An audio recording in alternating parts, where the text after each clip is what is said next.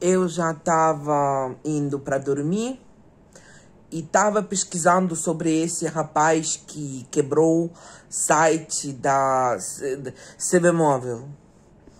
Eu eu estava bem triste e decepcionada nesse país e de repente surgiu esse herói.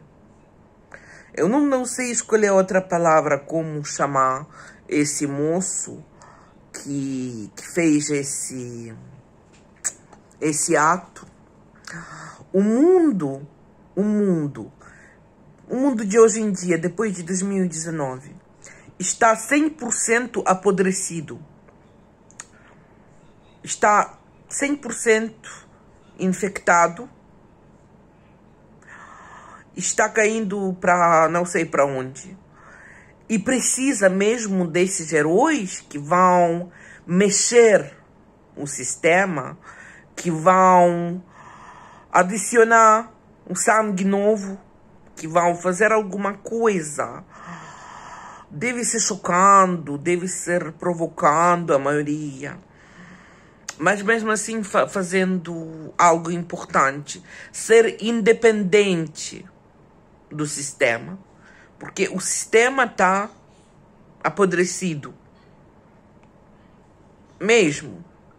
Eu antes pensava que sou em algum lugar do mundo. Agora eu vejo que Muita gente acha que eu gosto de criticar, tipo, Joana, você tá criticando todo mundo, todo mundo é tão maravilhoso, todo mundo é tão incrível.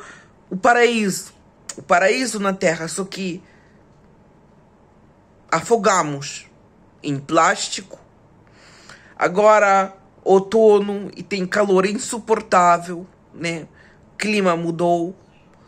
Mais guerras, mais crise, mais políticos corruptos, mais problemas e desafios no mundo. Mas todo mundo é ótimo. Tudo eles falam: "Ah, você você é pessoa ruim, você criticou a Ucrânia, você criticou o Brasil, agora critica Cabo Verde". Mas óbvio, porque todo mundo fica ruim. Todo mundo caindo, perdendo qualidade de educação. Agora, o que a juventude faz agora? passando todo o tempo no TikTok, fazendo essas dancinhas. Ser intelectual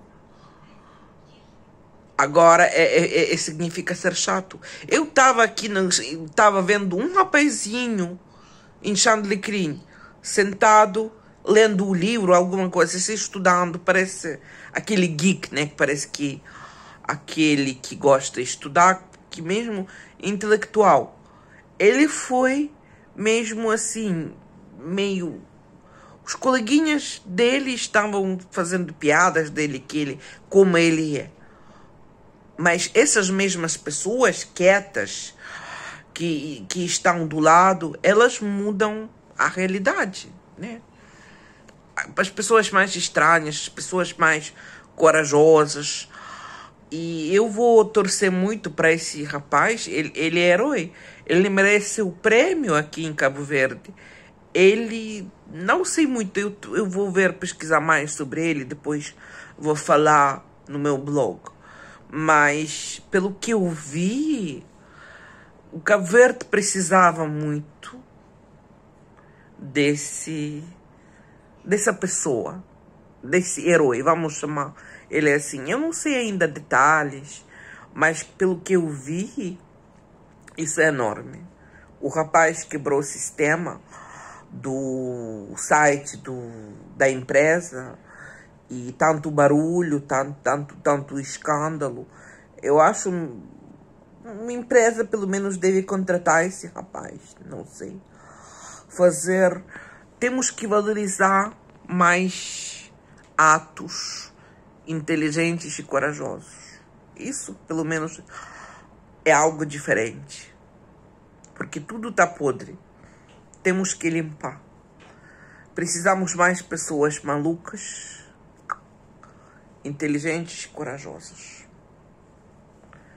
desse planeta. Porque o planeta está em perigo. O planeta está em risco. Por isso eu estava indo para dormir e com boas notícias, né? Com boas. Não sei.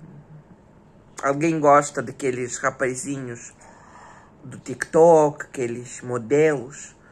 Eu gostei desse rapaz que fez sucesso, não sei. Ele não merece ficar na cadeia. Por quê? Ele aprovou a sua inteligência. Se ele, na verdade, quebrou o site tão sério, eu acho ele merece prêmio e reconhecimento. Muito menos na cadeia. Colocam os criminosos na cadeia, né? É assim, amiguinhos. Por isso eu tô eu ficando bem aliviada e bem assim. Eu não quero voltar para o passado, eu quero viver no futuro. Futuro que nós temos que construir. Futuro mais de cultura, futuro mais de liberdade. Proteger essa liberdade.